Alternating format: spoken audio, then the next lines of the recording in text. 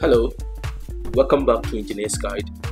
Today we're gonna talk about the fire pump diesel engine, and this we have here is the fire driver engine, and it has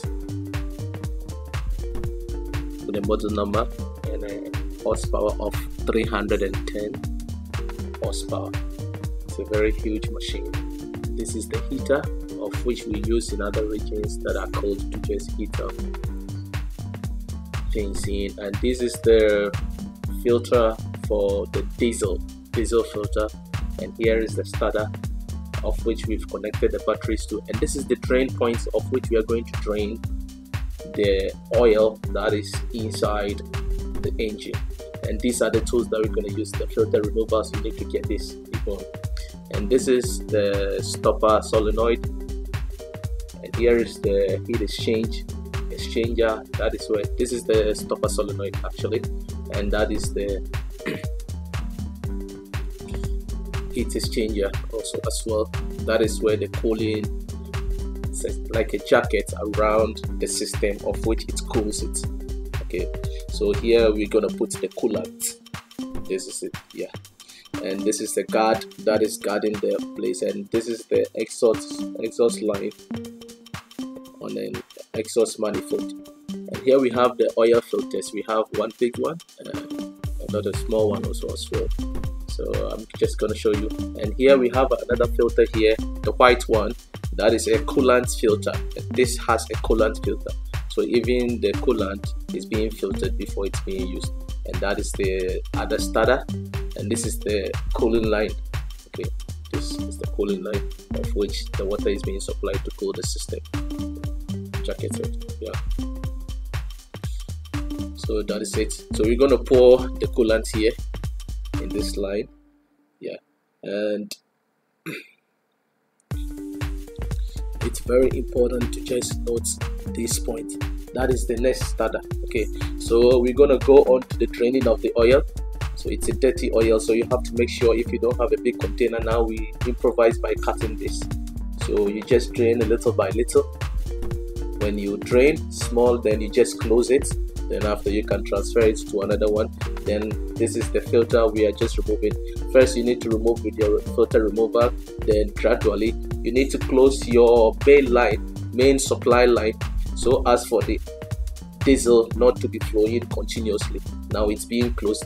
So but a little bit will just come out because it was already filled.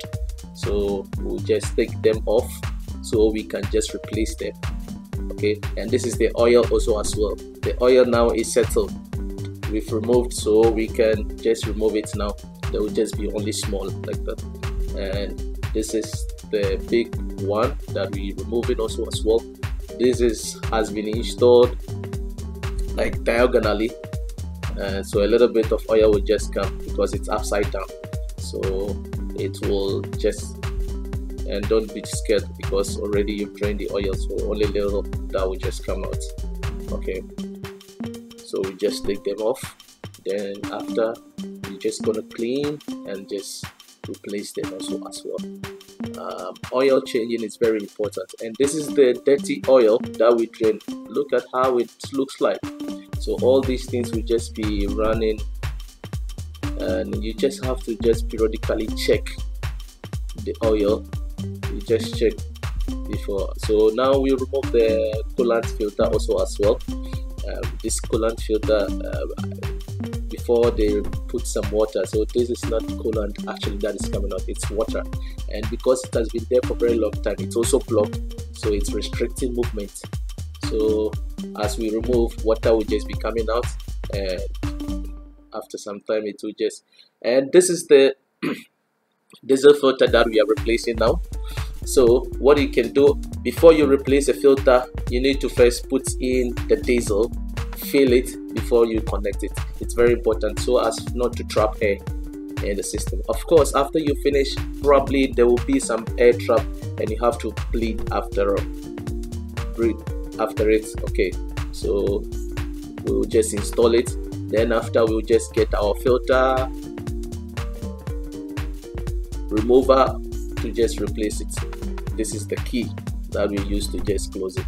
Instead of using a pipe wrench you just need to get a better tool. So as to just use it to just close it firmly onto the system. So we will just replace it and tighten it very well to be secured. So as for there will not be air spaces so as when we are running it will not be trapping more air into the system. And that is the oil. Now we've left it for it to drain to the minimum and all has been drained so you can see there is nothing coming. It's only small small. So what you can do now after you finish with this you need to get a flashing oil. So we're going to use this flashing oil. We just pour it into the system then just make sure we rub it a little bit to just circulate and bring out all the debris all the small small parts that are left inside. So we will just close make sure you close it because if not when you pour it it will just come down.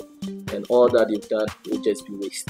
So you make sure you just close it then pour the flashing oil into the system. Then after you make sure also the filters will be fixed. The filters that you removed has to be fixed because when you run the system the oil will just circulate. So after you need to you can replace the old one to just circulate it around like that too. Because the new one if you replace it with a new one then you flush it. Again you can just have some dirt inside the new filter. So it's better off to just put the old one that you drain the oil out of it. You just put it there you just run. Okay so we will try to just run it. Okay? So we start manual cranking. We start. Okay so now it's running. I'm sorry for the audio I just muted it because of the sound. It's too loud. But I'll try to just make it here so it's possible. Um, yeah. So you see it's running. So now after you need to remove all those oil that you've replaced that you put the flashing oil then put the new diesel engine oil. You need to just put it accordingly get a funnel to just pour it slowly into the system. Then after when you are pouring you need to check the dip switch uh, you check the dipstick to just check um, where it has reached. It's supposed to be in a position that is better like probably at the maximum level. And also as to the coolant also as well you need to just fill it also up to the minute maximum like that. So it is very important that you need to just take these things into consideration. Um so after you've poured everything in then that is where you can just start to just use your system because the oil has been changed.